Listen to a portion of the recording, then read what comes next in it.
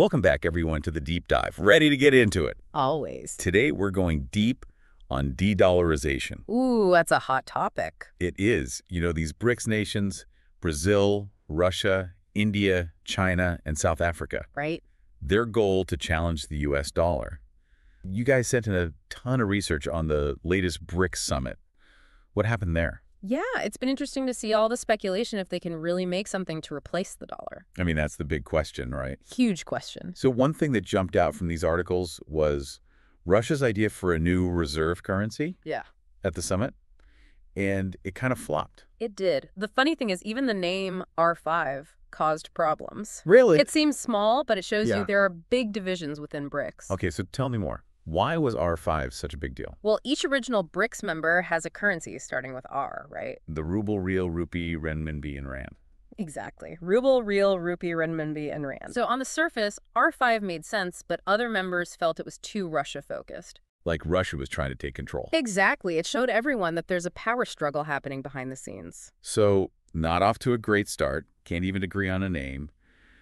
What was Russia even thinking this thing would look like? They proposed a digital currency, like those central bank digital currencies everyone's talking about these days, backed by the treasuries of the member nations. Huh?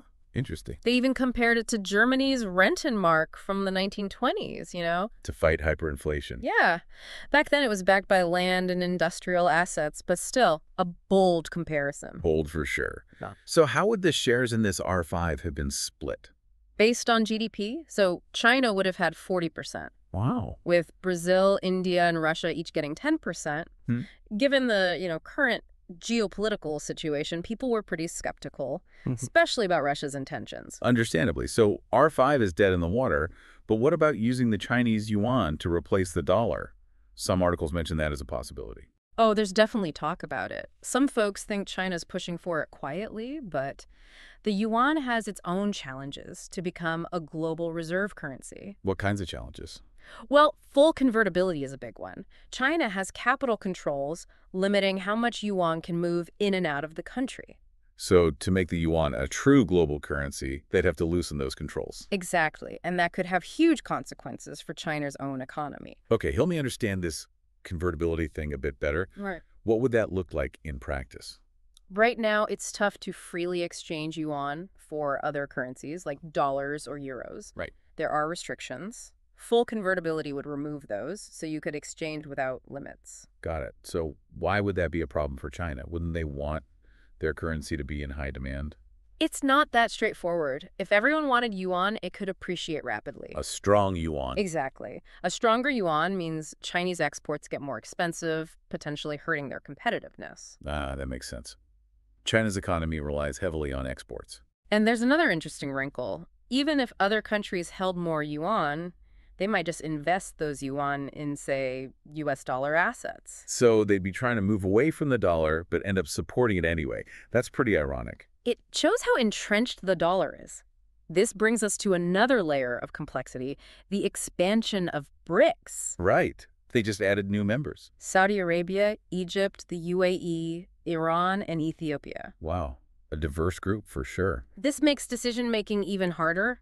How do you get consensus with so many different interests and ideologies? It seems almost impossible. There's a real risk that BRICS could just become another talking shop, like the G77. Lots of talk, no action. Exactly. Plus, there are already tensions within BRICS, India, and China's border dispute, Russia being isolated on the world stage, the new members bring their own baggage. So even before taking on the dollar, they have a lot to sort out internally. A lot. It highlights a key point. Challenging the dollar isn't just about making a new currency or having summits. What is it about then? It's about trust, stability, the rule of law, all those things. They took centuries to develop in the US, and that's how the dollar rose organically. You can't just force that to happen overnight, especially not from the top down like BRICS is trying. Yeah, trust and stability are earned. So you're saying that before even thinking about replacing the dollar, BRICS, especially China, need to get their own houses in order. That's one of the big takeaways here, yeah. Focusing on internal economic and political reforms might be more important than trying to dismantle the existing system. Like what kind of reforms? What would that look like? For China, it's about building a strong domestic market, boosting innovation, tackling corruption, improving legal protections. These are the foundations for sustainable growth. Shifting the focus from global competition to domestic strength. Exactly. It's about saying, hey, before trying to change the world, make sure your own house is in order. It highlights a contrast between the U.S. focus on domestic consumption and innovation and China's reliance on exports and government control. Two different philosophies of economic development playing out. De-dollarization is about more than just currencies. It's about which model will shape the future. That's it. It's why we need to look beyond the headlines and understand these internal reforms. This is getting really interesting. I want to hear more about those reforms and what they mean globally, but we're out of time for now. Yeah, we'll have to pick this up again. We'll be back soon to continue our deep dive. Stay tuned. So those internal reforms we touched on, I'm really curious to see how those could actually play out in a place like China.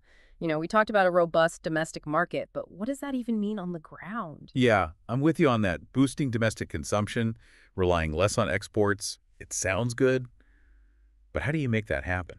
It's a tough one for sure. It's a multifaceted approach, right? For China, it would mean creating a real culture of innovation, like encouraging people to take risks, create new products and services, not just for export, for Chinese people to use too. So, like building a Silicon Valley, but inside China? Exactly. And then you need stronger legal protections for businesses, for investors, so they feel confident, you know, operating in China, investing there. Makes sense. So it's about creating an environment where people feel safe participating in the economy, not just following orders from the government. Right. And we can't forget about corruption. That eats away at trust. It stifles growth big hurdle to overcome. Sounds like a huge undertaking, especially with all the entrenched interests and bureaucracy in China. It's a big challenge, no doubt. But if they really want sustainable growth, if they want to be a global leader in the 21st century, it's essential. It makes you wonder if these internal challenges are even bigger than the external ones, you know, like trying to replace the U.S. dollar. That's the question, isn't it? Are they so focused on toppling the dollar that they're missing the foundations of their own economic strength? Hmm. Definitely food for thought. Let's zoom out for a sec, though. What does all this mean for the average person trying to understand global finance? I think it just shows how complicated and interconnected everything is. De-dollarization, if it even happens, it won't be a quick change. The dollar's dominance took decades to build. It's woven into the global financial system.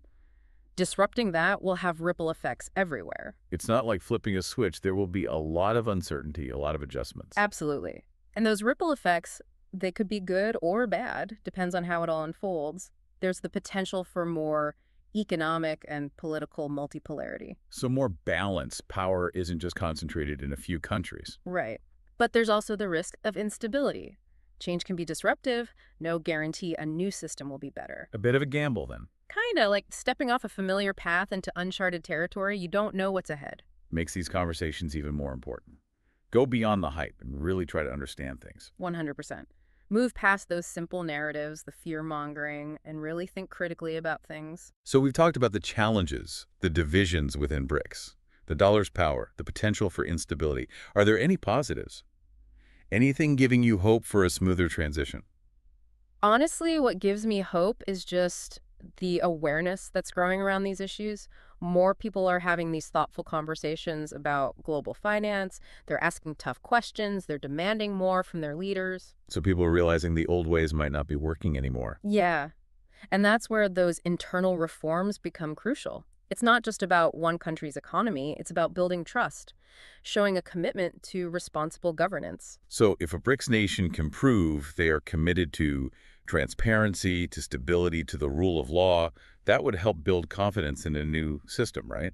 Absolutely. It's about proving they can be reliable partners, not just competitors. They're not trying to destroy, but to build something better. It's about earning that trust and credibility, which, like we said, is what has made the dollar so strong for so long. Exactly. And that takes time, effort, a real commitment to change. It won't happen overnight. There will be bumps in the road, but the payoff could be huge. Okay, so as we wrap up part two of this deep dive, mm -hmm. what's the main thing you want listeners to remember? I'd say this. The future of global finance, it's not set in stone. We're all shaping it through our choices, our actions, how we engage with these issues. So it's not a done deal. It's not inevitable. No, we have agency. I like that. So we talked about the challenges, the divisions within BRICS, how strong the dollar is, all the potential for things to go wrong.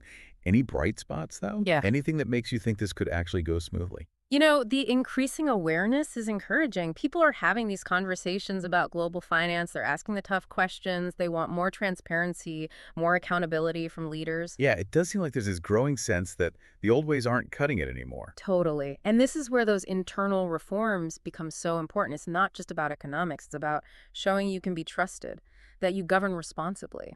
So if a BRICS nation can show the world, hey, we're transparent, we're stable, we follow the rule of law, that could help people trust a new system. Exactly. It's about being a reliable partner, not just a competitor, showing that you're not just tearing things down, but building something better. Earning that trust, that credibility, like we said, that's what made the dollar so strong in the first place. Right. And that doesn't happen overnight. It takes time, effort, commitment. There will be setbacks, but the potential rewards are huge. Okay, so as we wrap up this deep dive into de-dollarization, what's the one thing you want our listeners to walk away with? Thanks. The future of global finance, it's not predetermined.